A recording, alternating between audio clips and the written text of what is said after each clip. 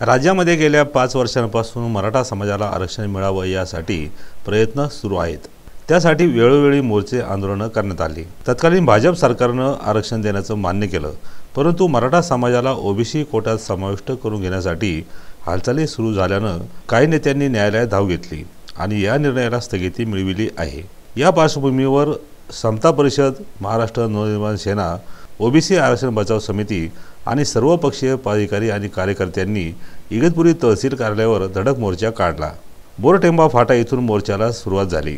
तहसील कार्यालयावर आल्यानंतर तहसीलदार परमेश्वर कासुळे यांना निवेदन देण्यात आलं. जिल्हा परिषदेचे माजी सदस्य गोरख बोडके यांनी मोर्चाची भूमिका मांडली.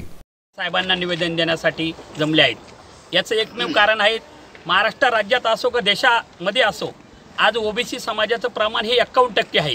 आमची प्रामुख्याने या ठिकाणी मागणी आहेत का जनगणना ही ओबीसीची लोकसंख्येची जनगणना झाली पाहिजे. तसेच मराठा बांधवांना आरक्षण दिलं पाहिजे परंतु आमच्या ओबीसी समाजाला धक्का न लावता आरक्षण दिलं पाहिजे.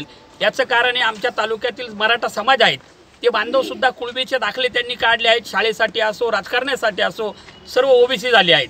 त्याच्यामुळे त्यांनासुद्धा हा त्रास भविष्यामध्ये होऊ शकतो.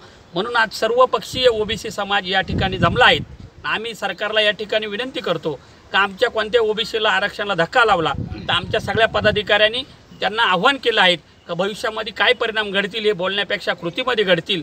म्हणून आज या ठिकाणी सर्व समाजाचे सर्व पक्षीय लोक तहसीलदार साहेबांना निवेदन द्यायला जमलो आहोत. आंदोलनामध्ये समता परिषदेचे अध्यक्ष शिवा काळे माजी नगरसेवक यशवंत दळ माजी नगरसेवक यशवंत दळवी ज्ञानेश्वर लहाने संदीप किरवे भगीरथ मराडे भगवान आरोळे अण्णासाहेब डोंगरे विठ्ठल लंगडे अशोक काळे राजेंद्र वालतुले कैलास लामगे अनिल सोपे प्रशांत कडू नंदलाल भागडे वसीम सय्यद हरीश चव्हाण योगेश चांदोडकर सुरेश सुरवंशी हे उपस्थित होते. राजू देवळेकर दिशानूज इगतपुरी.